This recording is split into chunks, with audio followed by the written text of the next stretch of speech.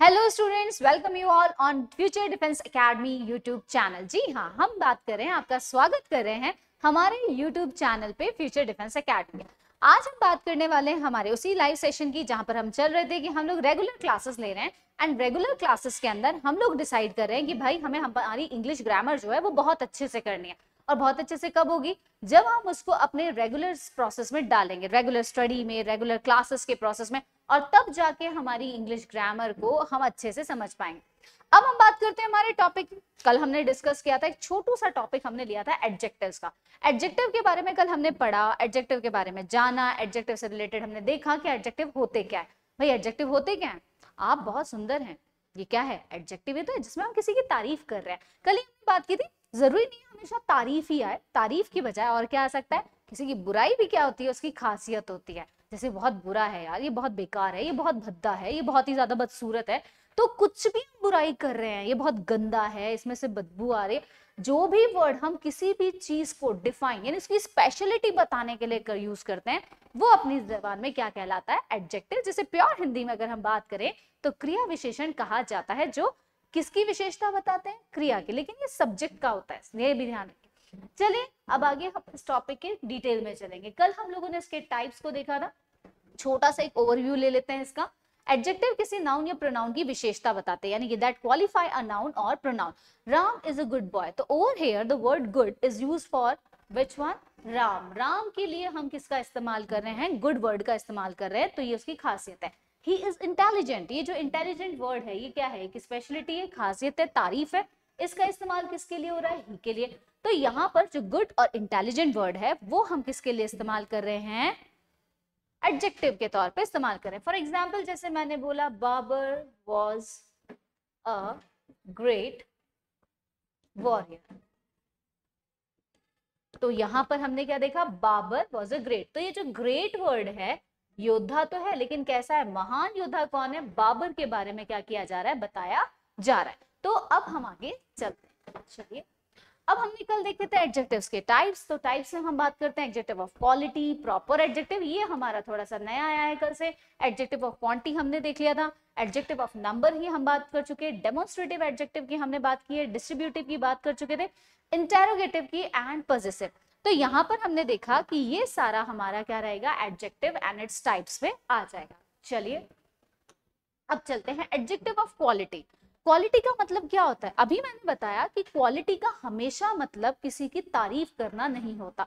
यानी कि अच्छाई नहीं होती बुराइयाँ भी एक इंसान की क्या होती है? क्वालिटी होती है। अब चाहे वो दिखने में बेकार है, चाहे वो बोलता अच्छा नहीं है, चाहे वो दिखता अच्छा नहीं है, चाहे वो चलता अच्छा नहीं है, या फिर उसका अपियरेंस मतलब उसके कपड़े पहनने अच्छे नहीं है या वो uh, कि कोई भी चीज़ है जिसके अंदर कोई बुराई या अच्छाई है वो क्या कहलाता है? एडजेक्टिव कहलाता है। तो चलिए डेफिनेशन देखते हैं। एडजेक्टिव ऑफ़ क्वालिटी जिसे प्योर हिंदी में कहा जाता है गुणवाचक यानी गुण। गुण का मतलब आप समझते हैं क्वालिटी हो गई।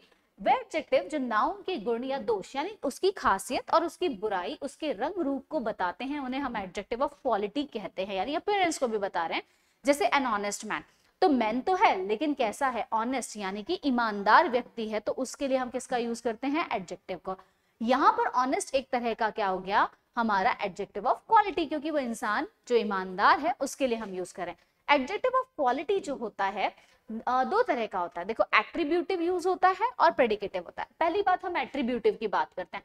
एट्रीब्यूटिव जो एडजेक्टिव्स होते हैं, ये हमेशा नाउन से पहले यूज़ करते हैं। फॉर एग्ज़ाम्पल अभी मैंने एक एग्ज़ाम्पल आपके सामने लिखा था, उसी से बात करते हैं। Babar was a great warrior है ना? तो यहाँ हमने बात की कि बाबर जो था, एक ग्रेट महान क्या था? योद्धा था। अब यहाँ पर हमारे पास दो नाउन है। One noun is Babar and another noun is warrior warrior भी एक नाउन है। This is a proper noun this is a common noun है ना? तो अब हमने बात करी वॉरियर इस नाउन के बारे में, यानी इस नाउन से पहले अगर किसका यूज़ हो रहा है एडजेक्टिव का यूज़ किया जा रहा है, यानी इस नाउन से पहले एडजेक्टिव का यूज़ हो रहा है तो वो कहलाता है एट्रीब्यूटिव एट्रीब्यूट का मतलब जो बिफोर नाउन के इस्तेमाल हो रहा है, वो कहलाएगा attributive for example Solomon was a wise king तो किंग यहाँ पर लास्ट नाउन है सोलोमन प्रॉपर नाउन है, लेकिन यहाँ पर वाइस किसके आगे आ रहा है? किंग के आगे आ रहा है। तो यानी कि एडजेक्टिव को जब हम किसी नाउन के पहले यूज़ करते हैं तो वो कहलाता है एट्रीब्यूटिव यूज़ यानी उसका कौन सा यूज़ हो गया? एट्रीब्यूटिव यूज़ कहलाता है। तो यहाँ तक आपको समझ में आ गया कि एट्रीब्यूटिव क्या होते हैं। अब आते हैं हम लास्ट प्रेडिकेटिव प्रेडिकेटिव क्या होता है? देखो प्रेडिकेट पार्ट अगर याद हो सेंटेंस में हम बात करते हैं predicate okay what is the meaning of predicate predicate is comprises of two that is sorry one part is verb and another part is object ये हमने बात की थी हमारी शुरुआत की क्लास में जब हमने स्टार्ट किया था हमारा ग्रामेटिकल जो हमारा रेगुलर लाइव सेशन था। वर्ब प्रेडिकेट का मतलब वर्ब और कौन सा ऑब्जेक्ट पार्ट तो अब आपको ध्यान रखना है प्रेडिकेटिव का मतलब जब किसी एडजेक्टिव को वर्ब के बाद और ऑब्जेक्ट से पहले इस्तेमाल, यानी वर्ब के बाद। चलो छोड़ो बाकी सब। वर्ब के बाद इस्तेमाल करते हैं तो वो कहलाता है प्रेडिकेटिव पार्ट यानी कि द वेदर इज़ प्लीजेंट तो वेदर इज़ इसके बाद क्या आ रहा है? प्लेजेंट प्लेजेंट अपने आप में क्या है? इट्स एन एडजेक्टिव क्योंकि ये खासियत बता रहा है। तो जब हम किसी एडजेक्टिव को वर्ब के बाद इस्तेमाल करते हैं तो हम उसको क्या कहते हैं? प्रेडिकेटिव यूज़ कहते हैं। यानी वो कौन सा यूज़ कहलाएगा उसका? प्रेडिकेटिव यूज़ तो हमने दो यूजेस देखे एडजेक्टिव के attributive and predicative attributive is before noun and predicative is after the verb तो यहाँ पर हमें समझ में आ गया इसका यूज़ नेक्स्ट हम टॉपिक की बात करते हैं प्रॉपर एडजेक्टिव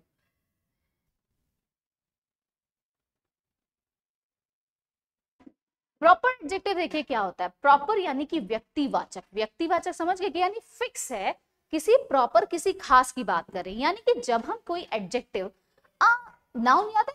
नाउन में हमने क्या बोला था? नेमिंग वर्ड्स नाउन होते हैं ना? कल हमने बोला था नेमिंग वर्ड्स जो हमारी क्लास थी, उसमें हमने नाउन की बात की थी। नाउन में हमने टाइप पढ़ा था दैट इज़ प्रॉपर नाउन पढ़ा था?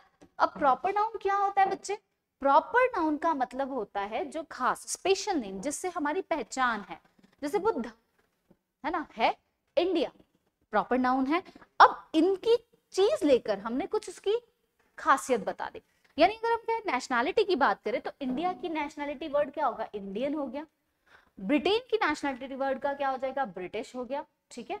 जर्मन हो गया। है ना?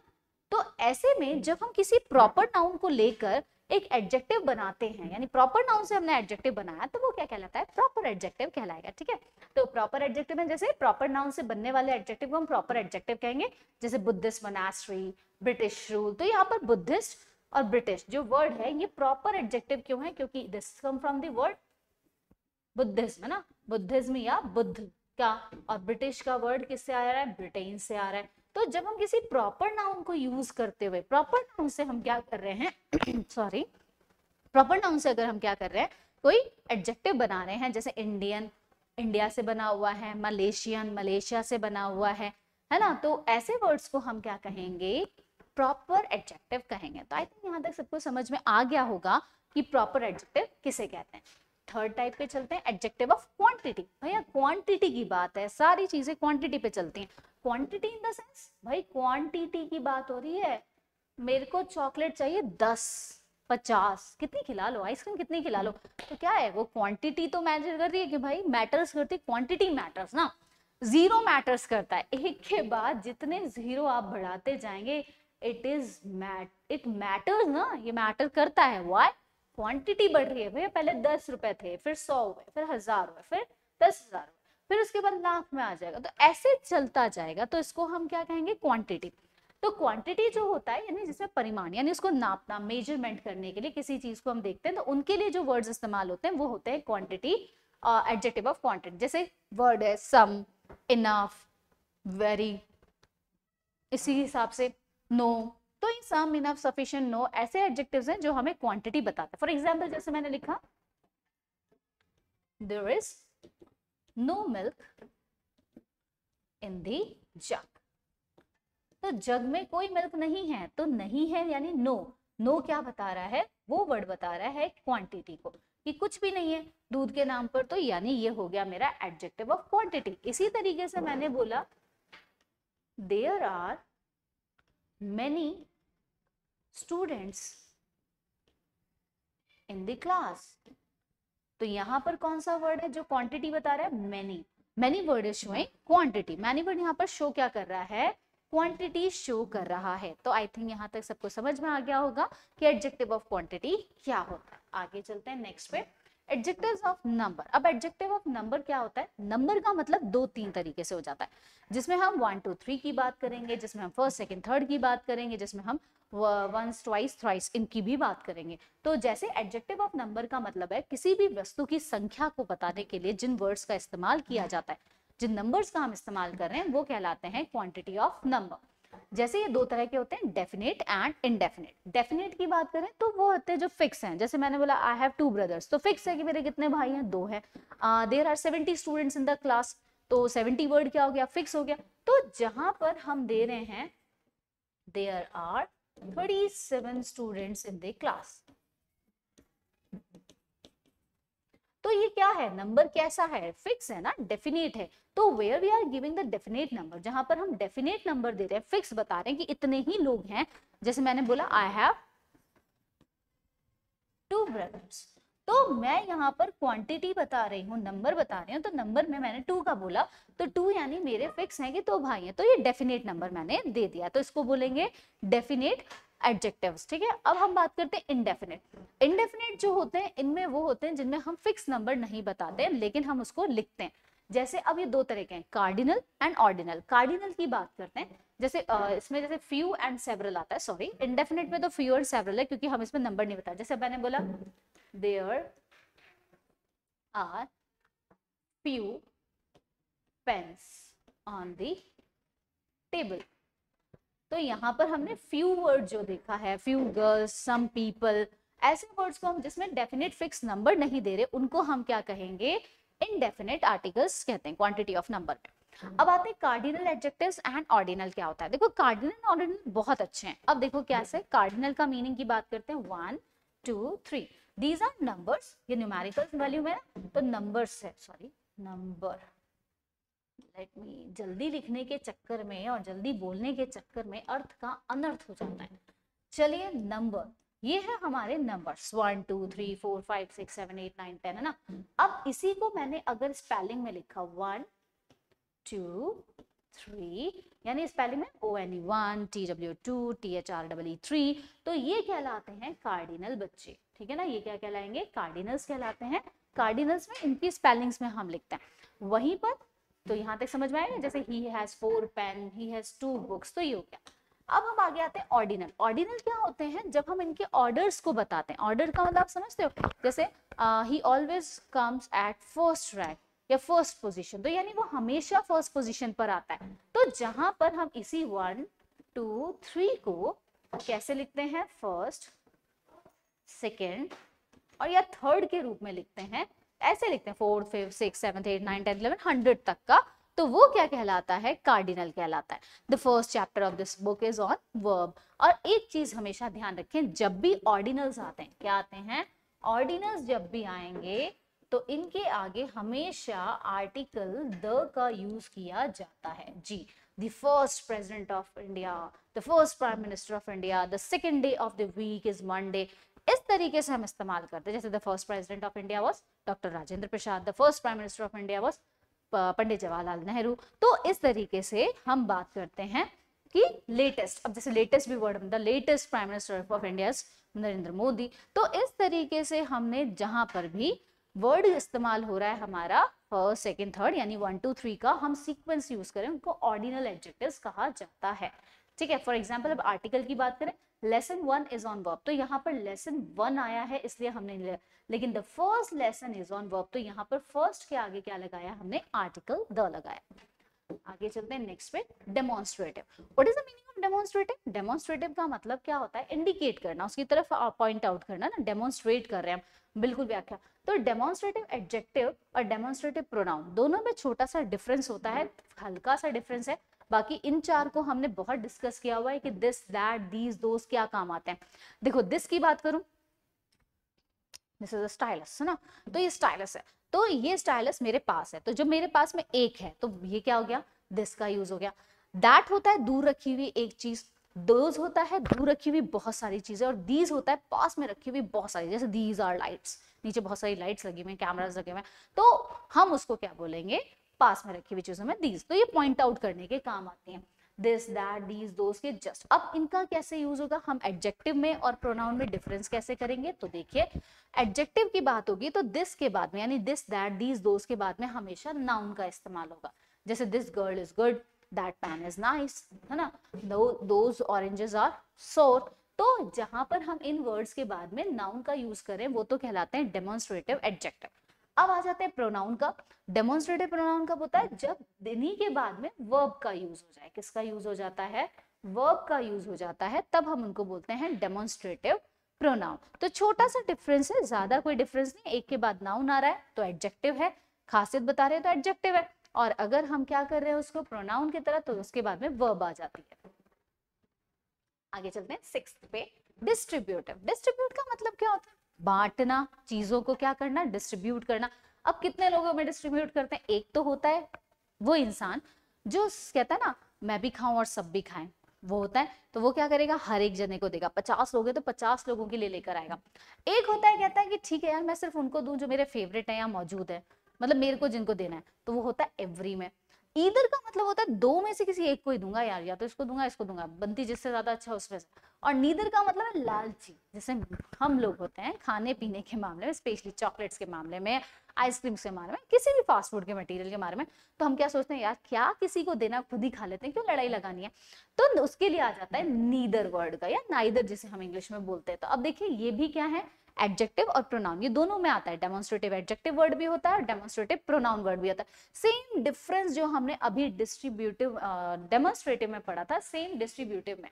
ईच एवरी इधर नीदर के जस्ट बाद में। अगर नाउन आता है तो वो हो गया एडजेक्टिव और अगर उसमें प्रोनाउन के लिए वर्ब आ रही है या उसके बाद कोई और वर्ड आ रहा है तो फिर हम क्या कहेंगे उसको? डिस्ट्रीब्यूटिव प्रोनाउन कहेंगे। जैसे each of the boys to the rest तो यहाँ पर क्या आया? प्रिपोजिशनल सेंटेंस आ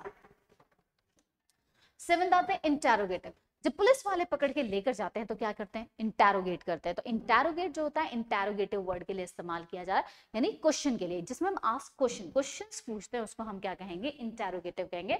वहाँ पर जैसे कि अब वही है इंटेरोगेटिव एडजेक्टिव और, और इंटेरोगेटिव प्रोनाउन दोनों होते हैं तो इंटेरोगेटिव एडजेक्टिव वो वर्ड होता है जिसके वॉट या डब्ल्यू एच वर्ड जो डब्ल्यू एच फैमिली वर्ड्स हैं इन वर्ड के बाद में अगर नाउन आ रहा है तो वहाँ पर हमेशा क्या होगा? क्या जाएगा? एडजेक्टिव होगा, यानी कि इंटेरोगेटिव एडजेक्टिव और प्रोनाउन अगर उसके बाद में वर्ब आ रही है डब्ल्यू एच वर्ड के बाद में हम किसका इस्तेमाल कर रहे हैं? वर्ब का इस्तेमाल कर रहे हैं। तो that will be use as interrogative pronoun तो यहाँ पर हमने देखा हमारा इंटेरोगेटिव एडजेक्टिव नेक्स्ट पे आते पजेसिव पजेसिव का मतलब मैंने आपको हमेशा बताया, अधिकार, अपना हक जमाना, उससे रिलेशन बताना कि वो किसका है, किसके हक में आता है।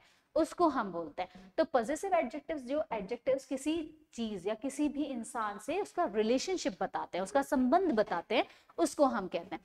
For example my book your laptop तो जैसे दिस इज़ माई बुक ये मेरी बुक है। तो यहाँ पर ये क्या हो गया? कौन सा हो गया?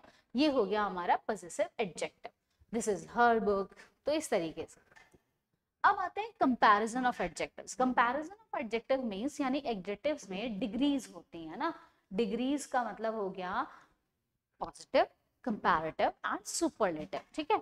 तो यहाँ पर तीन तरह की हमारी डिग्रीज होती हैं, जिन्हें हम कंपैरिजन ऑफ़ एडजेक्टिव्स कहते हैं। One is first one is positive second one is comparative and the third one is superlative एक इंसान की कोई भी खासियत बतानी, यानी एक ही इंसान की बात कर रहे हैं तो हम पॉजिटिव लगाते हैं। जैसे he is a good boy अगर हम दो जनों की कंपैरिजन कर रहे हैं तो हम कंपैरेटिव डिग्री लगाते हैं, जैसे he is better than you और अगर सब में से, बहुत सौ में से, अरबों में से किसी एक को चुन रहे हैं तो हो जाती है सुपरलेटिव डिग्री जिसमें हम लगाते हैं सुपरलेटिव डिग्री एंड प्लस में एक फिक्स है आर्टिकल द सुपरलेटिव डिग्री जब भी आएगी आर्टिकल द उसके ज़रूर आगे ज़रूर आएगा। ये हमेशा एक रूल बाँध लीजिए, इसको फिक्स करना चाहिए अब जैसे कि हमने रूल नंबर वन देखते हैं तो अगर कोई एडजेक्टिव कंपेरेटिव डिग्री बनाने के लिए पॉजिटिव डिग्री में रहता है तो उसे ई आर यूज़ करते हैं। और अगर मान लीजिए पॉजिटिव से वो किसमें जा रहा है सुपरलेटिव में जा रहा है तो ई एस टी लगेगा। जैसे बोल्ड बोल्डर और बोल्डेस्ट अब अगर जहाँ पर भी ये आ रहा है तो इनके बाद जो फिक्स कंजक्शन होता है, वो देन है और इसकी पहचान है आर्टिकल द बस, ज़्यादा हमें करना ही नहीं है, यहाँ से हम लोग इसको फिक्स करते हैं। तो ये चीज़ हो गया हमारा आज का रूल नंबर वन जिसमें हमने एक छोटा सा चीज़ देखी कि एडजेक्टिव की फ़र्स्ट डिग्री में अगर हम बात करें कि बोल्ड बोल्डर और बोल्डेस्ट इसी तरीके से डीप डीपर और डीपेस्ट हाई हायर और हाईएस्ट स्ट्रॉन्ग स्ट्रॉन्गर और स्ट्रॉन्गेस्ट थिक थिकर और थिकेस्ट वीक वीकर और वीकेस्ट इनमें एक और खासियत है, जिनको बोलने के लिए हम लोगों को तोड़ना नहीं पड़ता जिन वर्ड्स को, यानी जैसे हम लंबा वर्ड नहीं है ब्यूटीफुल नहीं है, जिसमें दो, तीन बार हम ब्रेक लगाकर बोलते ब्यूटीफुल है ना? वो नहीं है बोल्ड है, सीधा बोल रहे हैं, एक ही स्लैंग इसमें एक ही स्ट्रेस नहीं आ रहा। तो ऐसे वर्ड्स के लिए हमेशा जब कंपैरेटिव बनता है तो ई e जुड़ जाता है और सुपरलेटिव बनता है तो ई e जुड़ जाता है। तो स्टूडेंट्स आज का हमारा रूल का रूल नंबर वन हमने सॉल्व किया और हमने इसके साथ में देखा है हमारे सारे टाइप्स को। कल हम लोग इसको आगे फर्दर ऑन करेंगे, आज छोटी सी क्लास रखेंगे, ज़्यादा नहीं, क्योंकि हमारे एक्चुअली इलेक्ट्रिसिटी का इशू बहुत ज़्यादा चलने लग गया है, क्योंकि अभी मौसम भी बारिश वाला और ऐसा आ चुका है तो थोड़ा सा रहता है तो इसलिए वरना हमारी फिर मैथ्स की क्लास नहीं हो पाएगी, क्योंकि उनको भी रिकॉर्डिंग मतलब लाइव आना होता है सर को। तो हम बात करेंगे कल अपने इस एडजेक्टिव के पार्ट को जल्द ही लेंगे। कल परसों, तरसों, दो दिन में जितना जल्दी हो सकता है हम इसको फिनिश करने की कोशिश करेंगे। आई होप आज की क्लास अच्छी लगी होगी। छोटी सी है, लेकिन पसंद आई होगी। और अच्छी लगी तो एक छोटा सा प्यारा सा कमेंट ज़रूर कीजिएगा एंड लाइक कीजिए, इसको शेयर कीजिए एंड प्लीज़ सब्सक्राइब करवाइए अपने सारे दोस्तों के ज़रिए हमारे चैनल को if you like thank you so much जय हिंद, जय भारत।